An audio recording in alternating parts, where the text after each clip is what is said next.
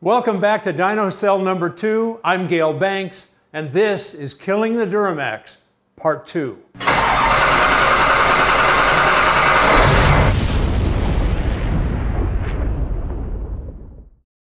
As we prepare to push this L5P to its breaking point and potentially paint the walls with parts, we're going to take you through each system responsible for making air density.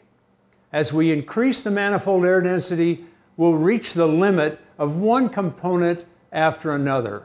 At each level, we'll stop, upgrade the component, and continue until we actually physically break the engine. You'll see us make the changes, and you'll know why we did it. We're going to walk you through the airflow and show you how we've outfitted each system with pressure, temperature, or speed sensors, and the data produced from these sensors will be calculated and displayed on our iDash. You'll know how much air density each component was contributing when it reached its limit because the iDash will show it. The iDash ties air density to horsepower, not boost air pressure, not just temperature, not just humidity. Those won't get you there. You need to know the air density. For example, on a standard day, the air density is 72.4 pounds per thousand cubic feet. That's about the air density in this room right now, by the way. That 72.4 pounds is enough air mass to make 600 horsepower in this diesel. But this Duramax's cylinders only displace 350 CFM at 3,000 RPM. To make 600 horsepower, we need to induct 1,000 cubic feet of air. How do we get 1,000 cubic feet of ambient air into this engine? We force it in. Ambient air pressure plus boost pressure is the force. Density is what is being forced. We've been running this engine and we're a little over 550 horsepower. And this may surprise you, but right now, one third of the manifold air density per cubic foot pumped by the cylinders is contributed by the ambient air density in this room. Another third is added by the turbo, and the final third is contributed by the intercooler.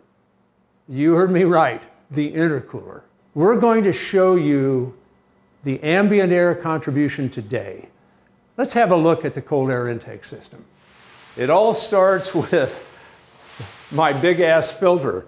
This is the actual filter that would be in a Banks ram air system for an L5P. And I've told the guys, I want a big ass filter program here at Banks. Make them as big as they can possibly be, give them the lowest pressure drop, the maximum dirt capacity, all of it. I want to own that in this industry. So we go through the big ass filter, a five inch MAF sensor into a five inch tube. We gradually reduce into the OEM inlet. We're measuring the temperature and the pressure entering the compressor. This pressure measurement goes through this nylon line. The sensor senses the pressure. The BanksNet module translates it puts it on the network, and sends it to the bank of iDashes in the control room. Let's go in and have a look. So before we light this thing off, let's look at some of the readings on the iDash that pertain to the ambient conditions and, and where we are relative to a standard day. Okay, the first reading I want to point out is the ambient air density in the control room.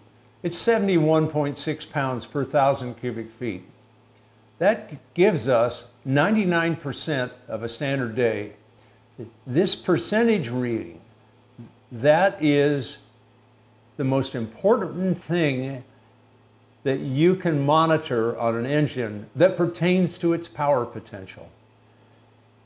Once that is compressed and cooled by the turbocharger and the intercooler, we're going to have a, a lot higher air density number in the engine than we have ambient.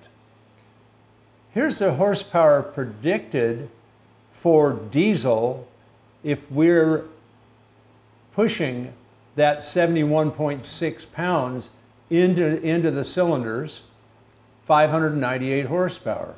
What constitutes the ambient air density? As I said before, it's ambient air pressure, and currently the ambient air pressure in the room is 14.4 pounds per square inch absolute. That's 14.4 pounds over an absolute vacuum. So I don't talk vacuum.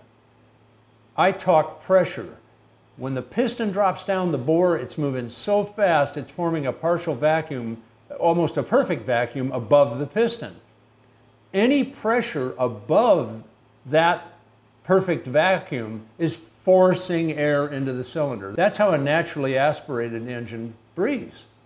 So there's the force if you had a naturally aspirated engine.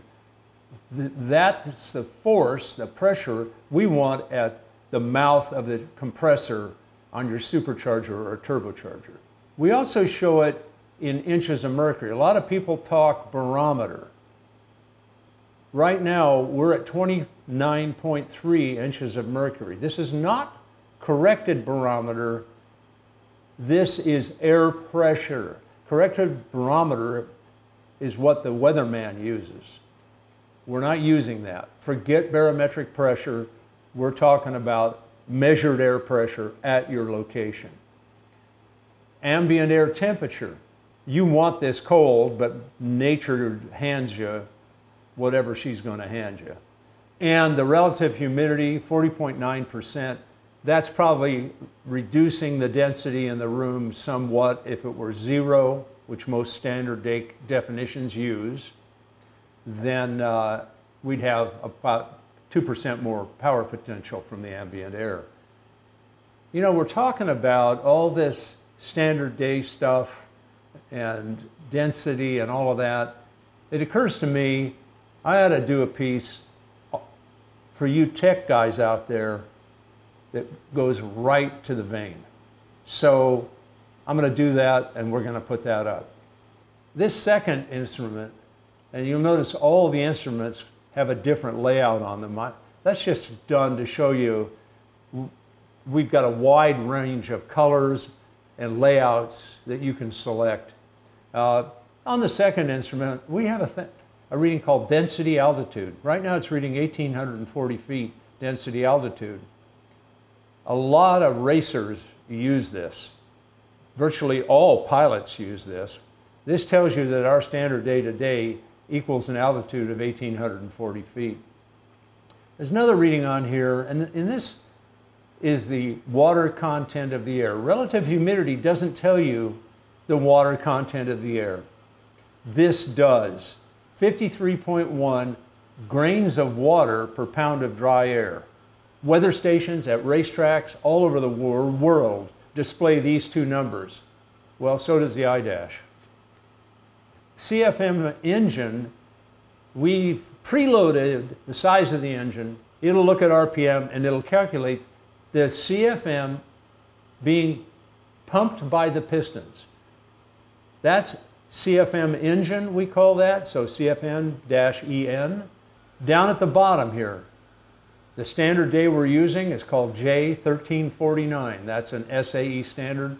I'll talk about it in this other video I'm going to do for you guys.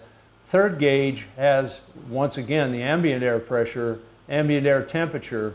It's also got the intake air system pressure drop, delta P. And it's got the compressor inlet pressure. Now, right now, they're both equal. Engine's not running. But we're going to see the pressure drop. We're also going to see the temperature gain. It's going to be minimal. We're not under the hood somewhere, and there might be zero temperature gain. But in a vehicle, you want cold air to maintain what you're going to see here. If you're inducting air under the hood with a filter on a stick, uh, and a fence around it or no, no shielding whatsoever, you're cutting your own throat. If you're a performance guy and you see that from this day forward, that's the stuff of ignorance. You're not ignorant anymore. Every time you see it, you can either walk away or point it out to the guy. You might get smacked, I don't know. Last one, ambient air density it, and compressor inlet density. As this thing runs, it, you, you're going to see the density loss in the system. So we're going to fire it up. We're going to take it to 3,000 RPM, which is, which is where we're pumping about 350 CFM. You should see that number appear. We're going to take it, throttle it up to about 550 horsepower, and kind of look at how the intake system's doing. So let's bark this thing. Crank up the fans.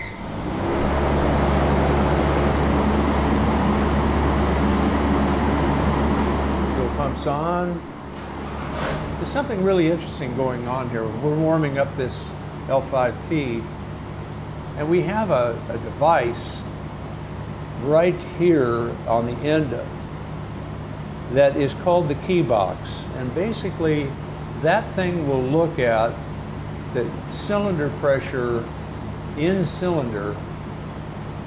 This engine design is nominally 180 bar maximum cylinder pressure. I want to push that. And I want to know not only what the maximum cylinder pressure is, I want to know the shape of the curve leading up to the peak, where, where the peak's occurring, and how it bleeds off, or that's, this is compression, cylinder firing, which is injection, uh, and I, I, would say injection is taking place right about there. Would you agree, Aaron? Yeah. So what you have is kind of this nose over in cylinder pressure. You've injected the fuel, wham, here it comes. So this, in this particular instance, this is very low load. Uh, this injection delay may tend to go away under different circumstances. But the old diesels really had significant injection delay. So you inject, the fuel gets heated by the compressed air in the cylinder, and finally it fires. So you see the point of injection, and then you see the point of total combustion occurring. We come up to peak, and then it expands. The piston starts going down right here at zero. So we're injecting before top dead center. This is 20 degrees after top dead center, 40, 60, 80. Right now we're injecting, I'm going to say, seven or eight degrees before top dead center. Here's top dead center. And here's the peak cylinder pressure we're making right now, which is read off this scale right here. So we're at about 63 bar. That's 63 atmospheres. Uh, our engine speed is about 1120.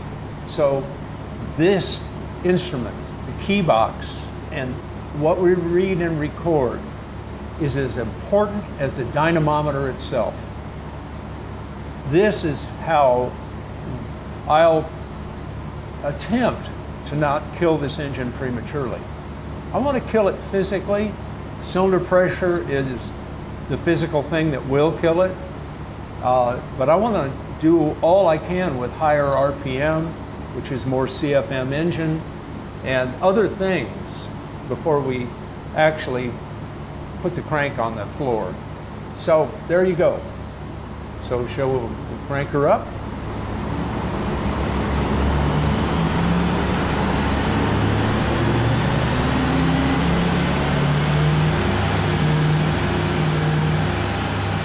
Something interesting. To get this thing to make 550, you'd think the variable geometry would be wide open.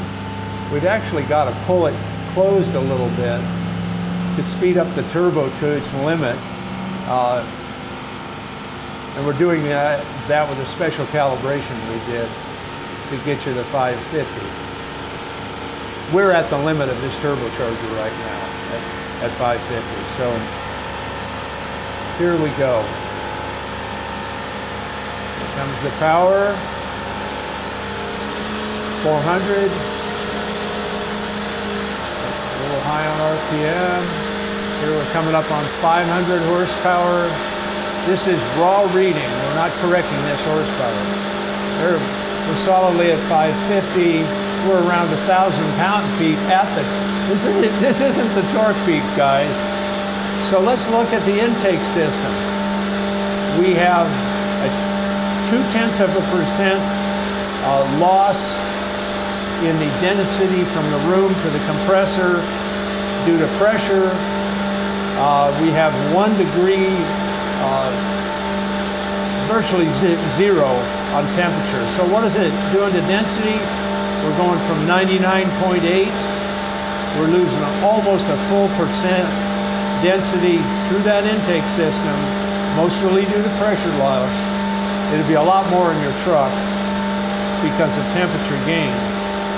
So we're at 98.8% density going into the compressor inlet. Whoa, Nelly, we're at 190 bar or better. We're over the design pressure. This turbocharger and where we're at with cylinder pressure, we got problems going on. Turbocharger's out to lunch. We're way up on turbine drive pressure and we're at the limit, 135,000 RPM or so of its design speed. So let's bring this thing back down before we kill it. And I know, I, I disappointed everybody. We didn't kill it. But you're seeing how we're sneaking up on it. Next time, it's going to be all about why this turbocharger is out to lunch and how we could have killed it by pushing it further. This is the kind of stuff guys tuning without dynamometers and without instrumentation do. And then they put it up on the internet and they brag about their jackassery. Well, this jackass knows better. Next time it's the turbo, be here for that.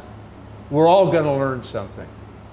So all you need to do is subscribe to our YouTube feed, Banks Power and you can follow along with all of my jackassery.